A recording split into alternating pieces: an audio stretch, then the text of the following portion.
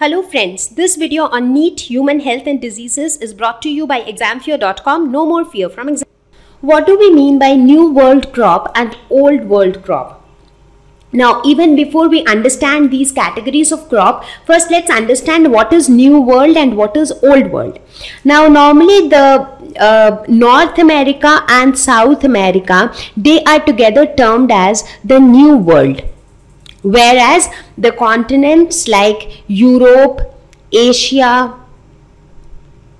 and Africa, all of these together are termed as the old world. So basically these regions which you see in grey that refers to the old world and the regions in yellow refers to the new world.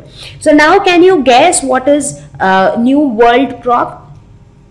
Now long time ago like these days the crops are available in all the places whether it is old world or new world. But long time ago somewhere around 1492 there were certain crops which were found only in the new world. So they were called new world crops. So crops native to america before 1492 and not found elsewhere in the world during that time. So these kind of crops are known as the new world crops However, as time passed by, later these crops were grown in all other parts of the world as well. Now let us look at some of the examples of New World crop.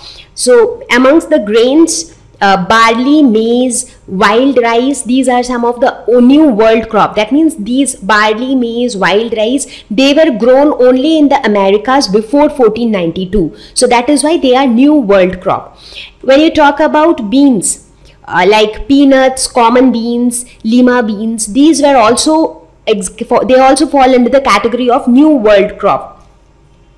Talking about fruits uh, like blueberry, avocado, cranberry, guava, papaya, passion fruit, pineapple, strawberry, tomato. So these are all examples of fruits which fall under the new world crop category.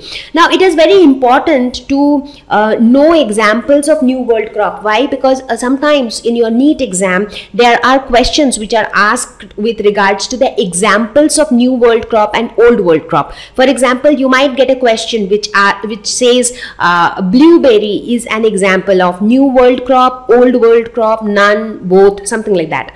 So you should know which uh, fruits or which grains fall under the category of which type of crop, whether it is a new world crop or an old world crop. Similarly, if you talk about the nuts, many nuts like cashew, American chestnut, black walnut, Brazil nut, hickory, these are all examples of the nuts which were new world crop. Roots and tubers, potato, sweet potato, oca, yacon, sunroot are all examples of New World crop again. So all of these, whatever I am talking about right now, these fruits, these nuts, these roots, they were all grown only in the Americas before 1492. Some of the melons like squash, pumpkin, they also fall under the category of New World crop. Thank you.